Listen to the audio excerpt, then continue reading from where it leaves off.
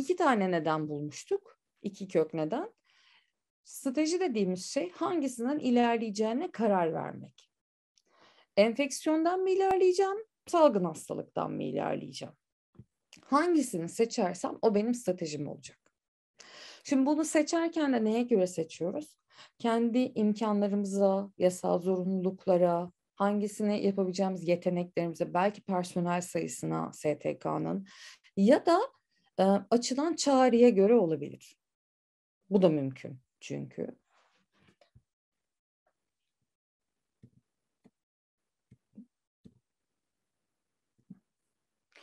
Bu aralarda şeyler çok fazla hmm, arkadaşlar. İklimle ilgili çağrılar çok fazla. Bilmiyorum takip ediyor musunuz? Ee, mesela bu Ufuk Avrupa programının hibelerin yüzde otuz beşi sadece iklime ayrıldı. Çok fazla o alanda çağrı var. Bunun sebebi de hani bu hem Paris Anlaşması hem Yeşil Mutabakat süreci bunlarla beraber özellikle Türkiye'de de öyle. Yakında bakanlıklar da çok fazla bununla ilgili çalışma yapıyor. Yakında açıklanacak da büyük hibeler var çıkacak. Böyle bir dönüşümün içinde olmaya Türkiye'de mecbur. Bütün ülkelerde aslında mecbur. Yani AB ile iş yapan bütün ülkeler mecbur. Çünkü yeşil mutabakatla beraber sınırda karbon vergisi zorunluluğu var. Yani Türkiye'nin ihracatının yüzde yetmişi Avrupa Birliği ülkelerine. E, bu da şu demek oluyor. E, eğer siz diyelim ki domates üretiyorsunuz, e, sattığınız ülkedeki insanlar soruyorlar. Bu ürettiğiniz domatesi üretirken toprağa sürdün mü? Toprağa sürmek karbon ayak izini arttırıyor. E, işte gübre kullanmak karbon ayak izini arttırıyor. Bunların hepsini topluyor, bir eşik değer çıkarıyor. Eğer bu eşik değeri aşıyorsanız siz diyor ki sınırda ekstra üstüne karbon vergisi uygulayacağım. Şimdi bu şu demek yakın zamanda yani iki sene içinde Türkiye toparlamazsa kendini e, hiç ihracat yapamayacak demek. Bu da çok ciddi bir risk yani bizim için çok ciddi bir tehlike. O yüzden hem dünyada hem Türkiye'de şu an deli gibi bütün fonlar, bütün kaynaklar iklim üzerinden gidiyor. Bütün kaynakları burada görebilirsiniz. İklimle ilgili bir şey yapmak şu an e, çok elzem herkes için, hepimiz için yani.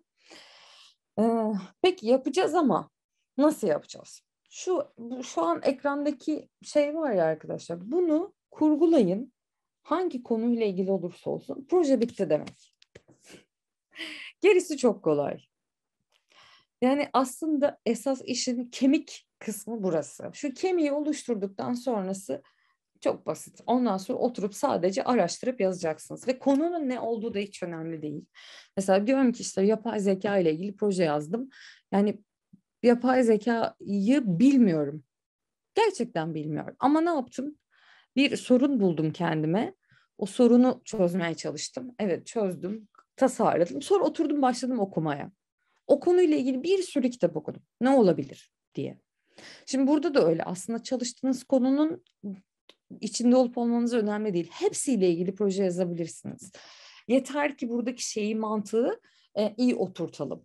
Şimdi birincisi e, az önce söylemiştik dedi ki müdahale sorunlara müdahale süreci. Kendimizi bir müdahale sorun bulduk müdahale etmek için. Neydi bizim esas hedefimiz? Bebek ve çocuk ölüm oranlarının azalması. Çünkü bulduğum sorun çocuklar ölüyor, bebekler ölüyor. Hedefim o zaman ne? Bebeklerin ve çocukların ölüm oranlarının azalması buldum kendime hedef.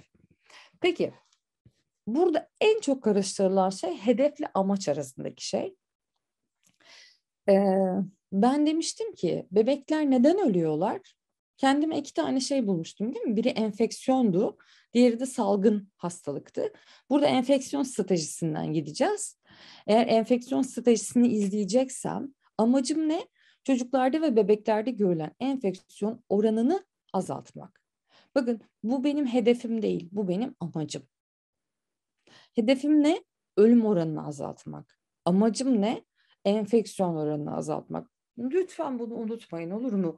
Yani çok dikkat edin. Projede bunu yanlış yazarsak en başta en temelde hatayı yapmış olacağız ve hakem olduğu gibi çizecek projeyi. Şimdi kendime enfeksiyon stratejisini belirledim ee, ve dedim ki amaç buldum kendime. Ee, enfeksiyon oranını azaltacağım. Bebeklerin ve çocukların beslenme durumu kötüydü. Bunu bulmuştum kök nedenimde. Bir diğerinde de aşı sıkıntısı vardı. Bunu bulmuştum.